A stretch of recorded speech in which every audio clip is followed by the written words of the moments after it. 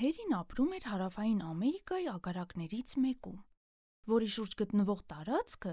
ինչպես նաև անծայրածիր դաշտերը, խաղալու համար կատարյալ վայր էին։ Թերին իսկապես սիրում էր կենթանիներին, եւ իր ծնողները գիտեին այդ մասին։ Նրանք զարմացրին Թերիին ծննդյան առթիվ, նվիրելով մի փոքրիկ ջուտիկ, մի իրական կենթանի եւ փամփլիկ ջուտիկ։ Առաջին օրվանից սկսած նրանք անբաժանելի էին։ Թերին ինքնուրույն էր խնամում ճուտիկին։ Նա առավոտյան եւ երեկոյան կիրակրում էր նրան։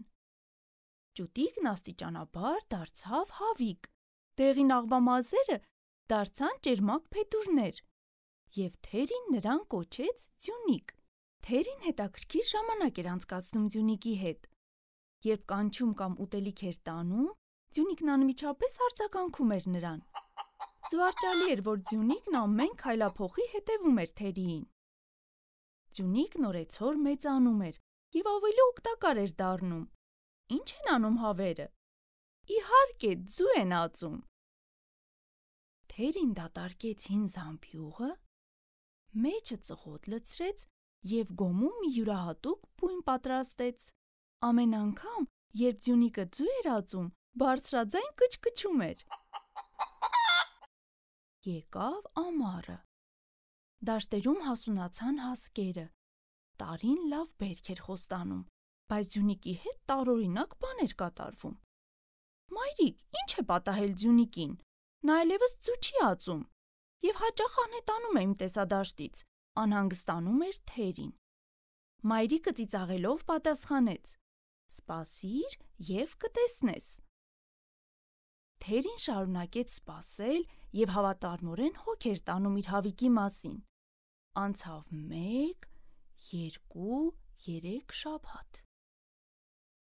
Մի երեկո, երբ Թերին կերակուր էր տանում հավիկին, ամբողջ բակով մեկ վազելով բացականչեց.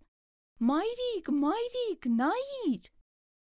Հասկերի միջից երևում էր Ձյունիկը, սակայն նա մենակ չէր։ Նրա հետևից քայլում էր ճուտիկների մի ամբողջ խումբ։ Ահա եւ հանելուկի պատասխանը։ Մի փոքր հեռու, ավելի հանգիստ վայրում Ձյունիկը ձու էր դրել եւ ձագերի էր սպասում։ Հիմա նա պարտորեն ներկայացնում էր իր ճուտիկներին։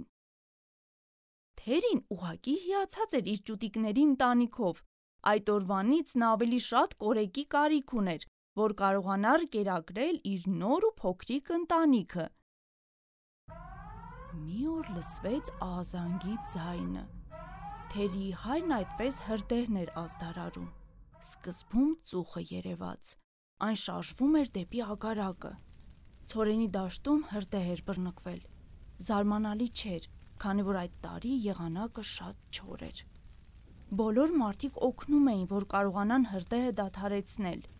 Վնասի չափը մեծ էր, բայց կարող էր ավելի վատ լինել Բարեբախտաբար ջրի հոսքը կանգնեցրեց հրդեհը։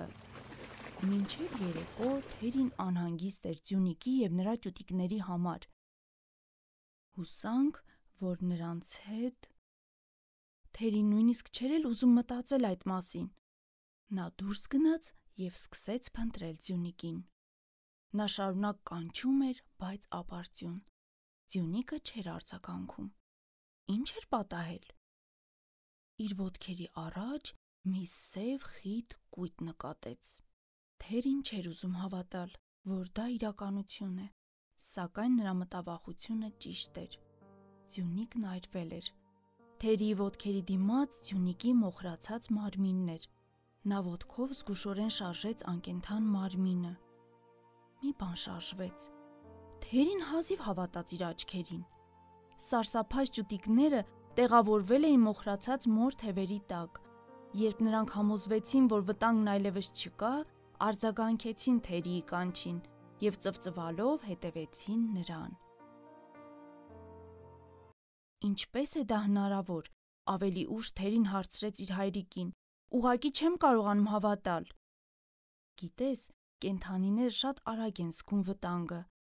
Երբ հրդեհ բռնկվեց, ճուտիկներ իրենց մայրիկին նայեցին ակնկալելով նրա պաշտպանությունը։ Նա կարող էր հերու փախչել, բայց ճուտիկները դեռ շատ փոքր էին։ Ձյունիկը սիրում էր իր ճուտիկներին։ Նա լայն բացեց իր թևերը, ձգվեց ճուտիկների վրա ու թույլ չտվեց, որ կրակը նրանց դիպչի։ Նա զոհաբերեց իրեն, որ իր ճուտիկներն ապրեն։ Այո, նա այդպես արեց։ Իրոք դժվար է այդ ամենին հավատալը, ապշահար պատասխանեց Թերին թափահարելով գլուխը։ Ագարակում լռություն էր տիրում։ Միայն ճուտիկների թույլ ծվծվոցն էր լսվում։ Թերին դեռ շարունակում էր մտքերով նույն տեղում մնալ։ Հայրիկն ընդհատեց նրա մտքերը ասելով. Թերի, կա մեկը, ով իրեն զոհաբերեց մեզ համար։ Գիտես, թե ում նկատի ունեմ։ Թերին գլխով արեց։ Նա գիտեր, բայց դեռ պատրաստ չէր խոսելու։ Նա ուղակի տխուր հայացքով կանգնած էր։ Հայրիկը կռահեց, թե ինչի մասին էր մտածում, եւ շարունակեց. Հավանաբար Տեր Հիսուսն այնքան է տարապել, երբ իրեն խաչի վրա զոհաբերեց մեզ համար։ Նա ինքնակամ արեց դա։ Նա մահացավ ինձ եւ քեզ համար, որ իր հետ հավիտենական կյանք ունենանք։ Սա է սերը Թերի։